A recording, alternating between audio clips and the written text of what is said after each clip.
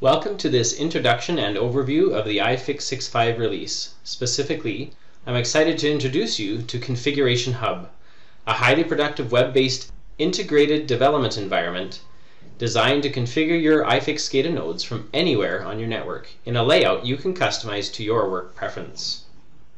Moving iFix configuration to a web-based paradigm has many advantages as you can likely imagine. Specifically, it provides a long overdue update from traditional 25-year-old paradigms and interfaces to a modern, web-based UI and set of controls. It opens up our ability to have multiple SCADA HMI developers develop concurrently against the same SCADA and to do it from a web browser anywhere on the network without any custom installations required. Moving to web-based configuration will allow iFix to move towards containerized SCADA in the future with no dependency on OS-specific user interfaces. And behind this user interface is a complete set of secured REST APIs that will be documented to allow you to programmatically interact with. Thanks for watching this introduction.